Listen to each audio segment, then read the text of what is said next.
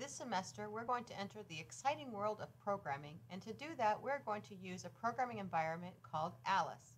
So the first thing you want to do is find the Alice programming language. You're going to come here to your Start window and click on the arrow to find all your apps, and then just scroll through, go over just a little bit until you see the A's, and here's Alice 3, and you'll notice that it's kind of a turquoise um, a teal icon and you're going to click on it to launch Alice.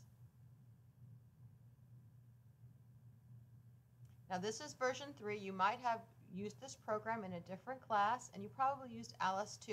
So you'll notice a few differences and if this is your first time in Alice, you're in for a real treat. This is a great environment and you're going to have a lot of fun with these programs. When you get into Alice the first time and every time, you're going to have this pop-up window. It's going to give you some options to pick a blank slate. These are going to be your world templates.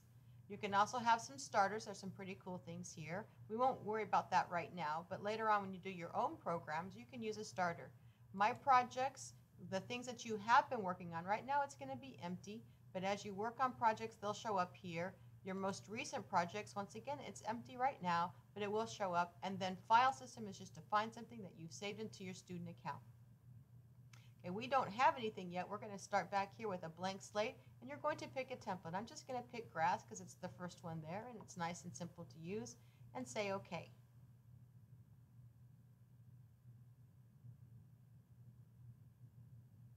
Now you can follow along with me. You can resize so that you have the your video open on one part of your screen and Alice open on the other part of the screen and then go ahead and follow the instructions with me. So you've picked grass or some other template world to begin with and right now there's nothing on it. So the very first thing you're going to do is set up your scene. We're going to click here on this button, set up scene, and it's going to take you into a whole nother environment that looks like this. And down here on the bottom you have some different tabs and these are all the objects that you can add to your world and they're organized. This one is organized by class. So we have biped, flyer, prop, quad, swimmer, and transport. So if you know which class it's in, you can come right here.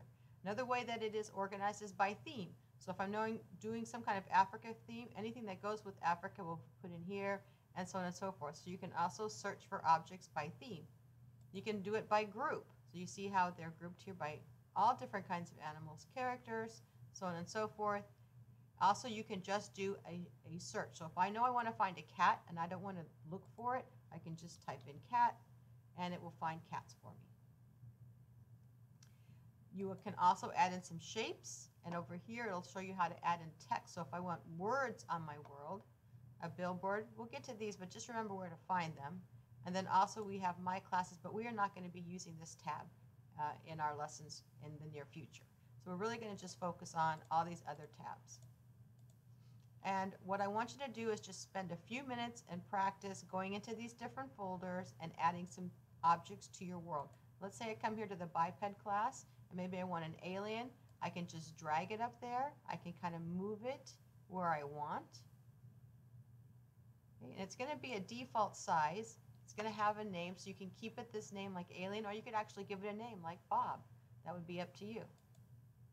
And it's going to be here, and you'll notice that there's a little circle here, and that lets you move things around. Okay. And then you've also got some tabs up here to do rotations, translations, and to resize. So I'm going to give you some time to just kind of play around, add as many objects as you want, see if you can position them where you might want. You can also play around with some of these different properties here and see what's available. So the first part of this, part one, is just getting into Alice and going through these folders.